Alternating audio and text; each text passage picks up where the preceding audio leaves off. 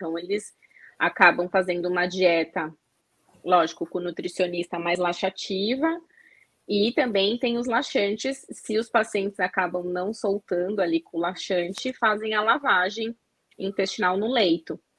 Mas o nosso trabalho, ele entra muito como um complemento, porque a gente acaba ensinando o paciente, né, como é a, a parte comportamental, sentar no vaso, é, como fazer ali a evacuação de forma correta, ter reconhecimento dessa região que muitos perdem, né? Perdem a percepção ali de parte anal mesmo.